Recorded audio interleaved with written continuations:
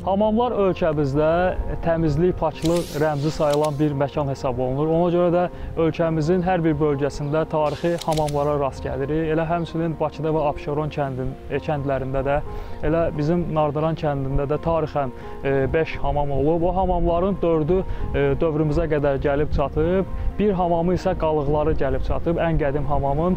E, bu qalıqları gəlib çatan hamam 1388-ci ildə inşa olunub. Hicri təqvimlə e, onun kitabəsində belə qeyd olunub ki, 790-cı ildə, yəni həmin e, tarixi e, miladi təqvimə çevirəndə 1388-ci ildə həmin hamamın inşa olunduğunu görmüş oluruq. Bakı və Abşeron ərazisinin ən qədim tarixi hamamlarından biri hesab olunur. Xan hamamıdır. Çünki o xan bağı köşkünün yaxınlığında yerləşdiyinə görə belə adlandırılıb.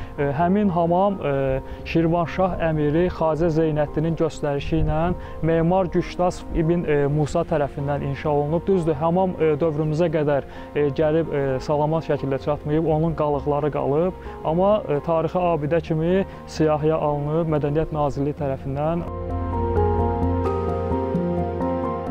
Hazırda qarşısında dayandığımız e, bu hamam da iki günbəzli hamamda orta əsrlərə aid olan e, hamamlardan e, biri hesab olunur. Hamam iki günbəzlidir. Ənənəvi Abşeron memarlığına xas olan iki günbəzli, iki hissəli hamamlardandır.